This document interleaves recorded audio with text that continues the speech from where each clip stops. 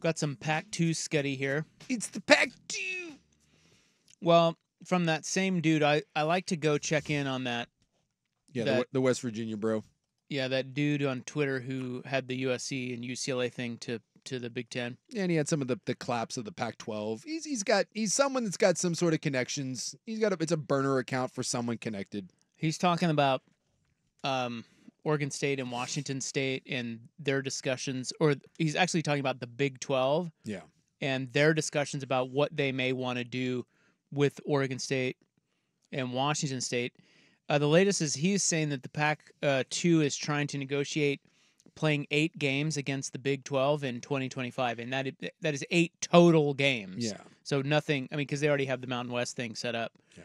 But um, the cost would be two million dollars per game, but the Beavers and Cougs could shop the games to different carriers. Yeah, they would sell it, and that's how they would they would make some dough, and then it would be kind of a, a test run. At least he, he's claiming that there's some hesitancy from the Big 12 schools to offer a full invite, so they kind of want to just kick this down the road a little bit, do a little schedule alliance, see how this goes, and then see what ESPN. Because it sounds like at least from him that it's ESPN the, the the one that's driving this, saying, "Hey, the Big 12, let's grab these teams and open up some more window slots to keep it away from streaming people, seemingly like Amazon, Apple." So you know, we'll, we'll we'll see what happens. I mean, he he throws a lot of stuff out there, and he certainly is right at times. But again, it's just a lot of stuff he's quote hearing. But I just like if you're a if you're a Pac-2 fan, I think you're just happy that you're in discussions right now, and and now other sources as well are, are saying that there are multiple discussions going on um, between the Pac-2 and other media entities. So at least you're in the discussion now. You're not a forgotten. Um, you know, you're you're not like a little forgotten island out here in the upper left. People are talking about you. Yeah. Uh, I guess he said all the no vote schools, and there's a bunch of them. If they got selected for any of the eight games against the Beavers or the Cougs, they would get home games Yeah, because they they, don't- don't want to Yeah, travel. they don't want to travel up So there. that's West Virginia, Cincinnati, Kansas, Iowa State, Oklahoma State, Kansas State, and UCF. Basically, half of the Big 12 doesn't want them. yeah, I lo- don't know why. Well, I mean, some of it is again, you- you slicing the pie uh, more ways. Yeah, but you'll make more money, though.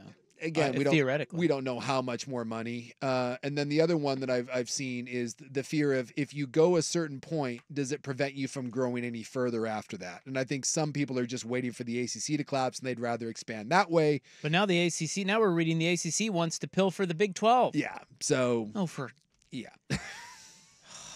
I don't know what to, I, don't, I don't know what to make of any of this. It just sounds like we're not close to being done. How about that? That there's more. Uh, I do know that. There's more. I do. I do know that. There's more shenanigans still to come. I do know that. But you know, look, if E ESPN uh, wants something, I mean, we all know that ESPN and Fox are the big drivers in all this. So if that part of it is true and it's E ESPN that's pushing for this, that's I, I think that's a good uh, that's a good first step. And getting in with some Big 12 teams is better than the schedule alliance with the, the Mountain West, even if it's only four teams, four games apiece. At least that's four games against, you know, power four competition. yeah, and then you got the Washington game and the Oregon game. Yeah, before you know it, you got a decent little sketty. Well, I mean, that's five. And then, you know, you piece together some teams with some good Mountain West uh, schedules and you got something. But eventually, in two years, you got to find your way into a conference one way or another. Another option would be uh, the Beavers and Cougs as partial Big 12 members. He was talking about uh, Oregon State baseball, also Gonzaga and UConn basketball. Yeah, because that's one of those where, and and it's long been rumored, and it, this sounds like it is going to happen that the Big Twelve, when they do their next media right deal, is going to do two separate deals. They're going to do football and everything else on one side, and then they'll do a separate basketball deal. And they, well, they already are, but they're really trying to make their their mark on they are going to be the best basketball conference in the country. And and so the idea of going out and getting adding UConn and adding Gonzaga to already when you have Arizona, you have Kansas, you have uh, uh, Baylor. I mean, you got you add UConn and Gonzaga to that, you do have without question the best basketball conference in the country. And I think it's kind of interesting that they're going down the road of let's sell that individually. Yeah, that is a pretty rad conference. Yeah. If you think about it, because they also have, um, you left out Houston. Yeah. They're elite right now. Very Iowa good. State's really good. Yep. Uh, Texas Tech has a good program. BYU. Uh, uh, well, you said Kansas and Arizona, yep. but then you add Gonzaga and UConn. Come on, Well, dude. Think about just you want to talk about the, the like perennial. You have the best team in the country in the last however many years in UConn. Gonzaga is a perennial top 10 team. Kansas is the definition of a blue blood. Arizona was the premier program out west for years and the last Pac 12 team to, to win a, a, championship. And then you mentioned kind of the Baylor won a national title in the last few years. I mean, it's just that would be an absolute monster get if they could get UConn and Gonzaga to uh, to agree to that. Yeah. And of course, then you know the Tinkler, man. Wait, what? Oh yeah, What do you mean? he's still there. The Tinkler's still there, baby. I don't know if they have any players, but you know the They can't Tinkler's afford to fire him, can they? I don't think they can. No. I mean, not that he deserves to be fired. I'm just saying Yeah. Yeah, it's been a pretty rough go since going to the Elite Eight, hasn't it? it has not been great. No. But that you know that was a hell of a run. It was. He's a good coach. I think. I think he's a good coach. It's just tough. It's it's it's tough to it's Ooh. tough to win there. They're 24 and 40 since the. Oh no, they're not. Sorry, Oh, they're? Deep? they're 27 and 68 since that run. And by the way, that team that made the Elite Eight was only 20 and 13. Oh well. They were they were a 12 seed. hey, you got hot at the right time. They've been to the tournament twice since 1990. Yeah. Yeah. It's not. It hasn't been a great run. God. No, no. Washington State had it going there for a little bit under under Bennett. They were all right.